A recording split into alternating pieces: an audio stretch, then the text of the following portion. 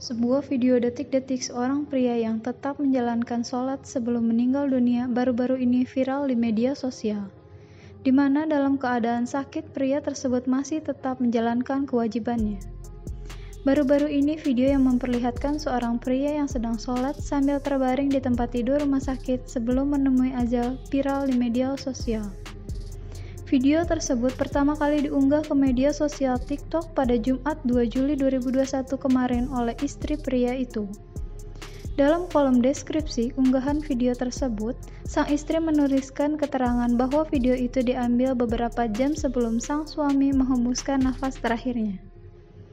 Dalam video tersebut terlihat sang suami yang semula terbaring lemas di tempat tidur tiba-tiba menggerakkan badannya. Dengan badan yang sangat lemas, ternyata ia sedang menjalankan sholat. Sang istri yang merekam momen itu bahkan terdengar menahan tangis melihat sang suami. Sontak saja unggahan video tersebut langsung banyak dikomentari netizen yang mendoakan kepergian pria itu.